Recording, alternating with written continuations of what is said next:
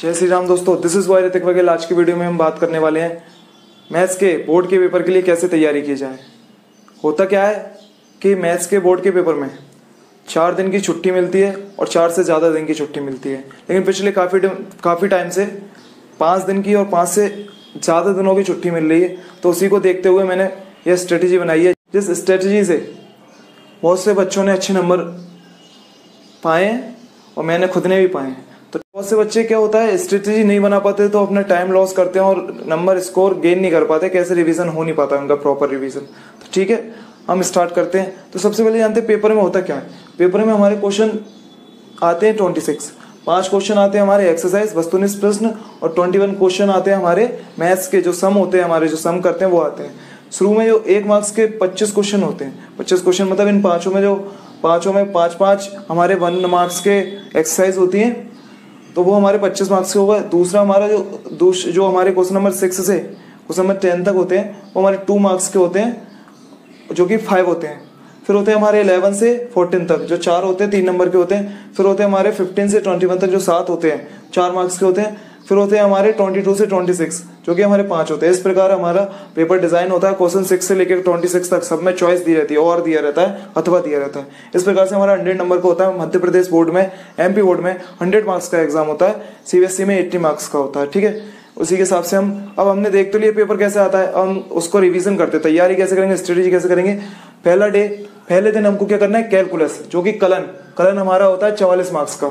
जी हाँ मैं हिंदी में थोड़ी बहुत बात करूँगा, क्योंकि मध्य प्रदेश बोर्ड में हिंदी मीडियम और इंग्लिश मीडियम दोनों बोर्ड होते हैं। ठीक है? पहला यूनिट है जो। ये यूनिट वाइज है, ये चैप्टर वाइज है। पहली यूनिट है कैलकुलस कलन जो चवालीस मार्क्स की है फोर्टी फोर मार्क्स की है, जिस, जिसमें कुछ चैप्टर्स हैं, उन चैप्टर्स के नाम बताता हूँ। पहला है कंटिन्यूटी एंड डिफरेंट डिफरेंसिबिलिटी सांतत्य एवं अवकलीनता जिसमें आठ मार्क्स का आएगा। अपने एट मार्क्स का आएगा।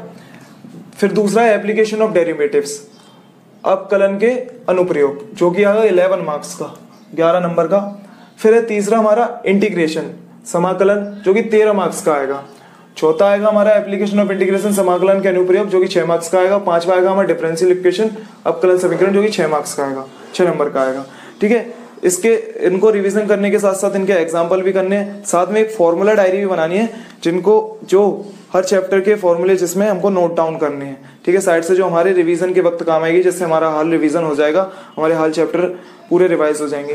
ठीक है, इसके साथ साथ जो चैप्टर्स पिछले जिस चैप्टरों में से, जिन एक्सरसाइज में पिछले ईयर्स कुछ सालों से हमारे जो क्वेश्चन आ रहे हैं, उनके, उन समों को अच्छे तरीके से सॉल्व करना है। ये स्ट्रेटेजी हमको पूरे जितने भी दिन तक हमारे कोर्स चलेगा, तब तक अपनानी है। ठीक है? पहला दिन यह समाप्त होता है। दूसरे दिन की बात करते हैं दूसरे दिन पढ़ेंगे हम वैक्टर्स सदिश और थ्री डी जोमेट्री त्रिविमीय ज्यामिति, जो कि आएगी सत्तर मार्क्स सत्रह मार्क्स की सेवनटीन मार्क्स की आएगी।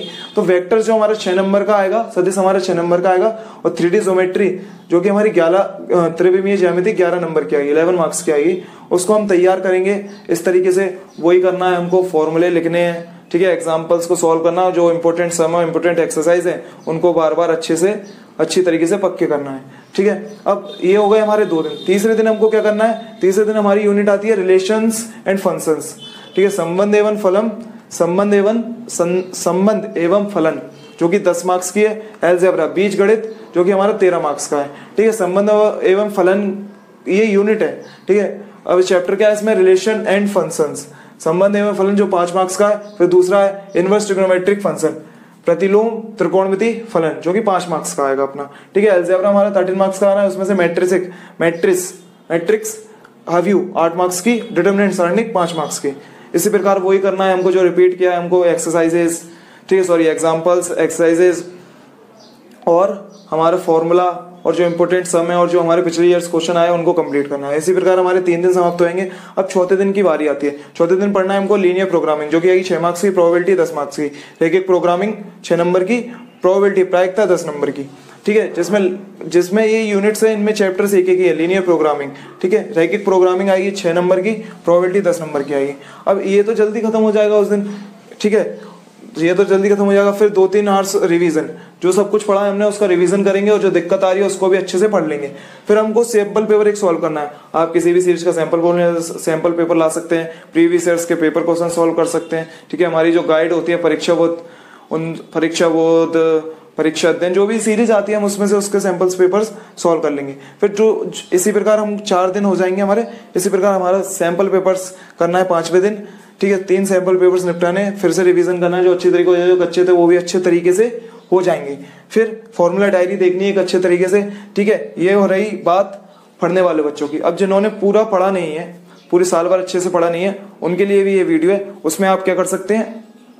उसमें जो प्रीवियस ईयर्स के क्वेश्चन आए, उनको सॉल्व कर सकते हैं। ठीक है? जो हमारी सीरीजों में ईयर वाइज डाला रहता है, परीक्षा बोधे परीक्षा अध्ययन एक सीरीज़ और है एनएसडी वहाँ से कर लोगे तो बहुत अच्छा है। वहाँ तुमको पूरा लिमिटेड मटेरियल मिल जाएगा और तुम जिस हालत में उससे बहुत अच्छी हालत में आ जाओगे, बहुत अच्छे तुम्हारे नंबर आ जाएँगे। ठीक है? आप भी इस स्ट्रेटेजी से पढ़ सकते हो चैप्टर वाइज एनएसडी से पढ़ सकते हो। वो भी एक अच्छी चीज़ है, जिन्होंने कम पढ़ा है। जिन्होंने पूरा पढ़ा है, वो इस स्ट्रेटेजी से पढ़ेगा। ठीक है? अब आपको पढ़ना कितना टाइम है, ये भी देखो। मैं ये नहीं कहता कि आप सवेरे पढ़ो, किसी का टाइम अलग अलग होता है, लेकिन मैं बता दूँ बेस्ट टाइम सवेरे ही होता है, लेकिन आप अपनी मर्ज़ी से पढ़ सकते हो। आप बाद में ये मत कहना कि आपने ऐसा ज़बरदस्ती किया। आप अपनी हैबिट के साथ पढ़ सकते हो, लेकिन आपको पढ़ाई को दस से बारह घंटे देने पड़ेंगे। और उसके बाद छः से आठ घंटे के बीच आपको सोना पड़ेगा। अब मतलब अच्छी नींद ज़रूरी है, क्योंकि माइंड को रेस्ट भी करना है, जिसकी वजह से आप अगले दिन उठोगे, जब भी पढ़ोगे तो आपका माइंड फ्रेश होगा, जिससे आप इजी चीज़ों को अपने अंदर ग्रेस्प कर पाओगे, ठीक है? ले पाओगे। ठीक है, दस से बारह घंटे पढ़ाई के छः से आठ घंटे स्लीप के बाकी बचे हुए टाइम में हमारी एक्टिविटीज़ है, खाना है रेस्ट करना है, कुछ भी इंजॉय टाइम है, खाना, पीना ठीक है, नहाना, धोना, जो भी है वो इस टाइम में आएगा। ठीक है, इस स्ट्रेटेजी के साथ आपको पढ़ना है। आई होप कि आप ऐसा ही करोगे और मैं भगवान से प्रार्थना करता हूँ कि आप लोगों के अच्छे नंबर आएँगे और मोस्ट ऑफ़ द स्टूडेंट्स के हंड्रेड नंबर आएँगे। ठीक है, आज की वीडियो में इतना ही। मिलते हैं अगली वीडियो में। Wish you all the very best